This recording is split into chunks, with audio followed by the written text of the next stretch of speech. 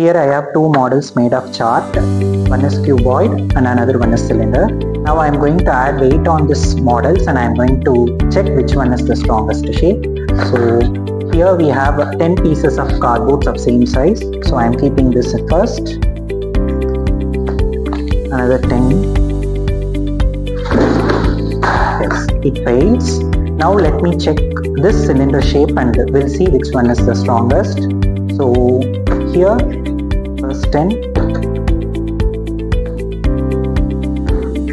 another 10 so when I keep 30 pieces of cardboard in uh, cuboid shape it fails but your cylinder shape can withstand 30 pieces of cardboard. Still it stands.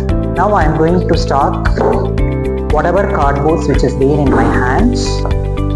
There we go so this says states that cylinder is the strongest shape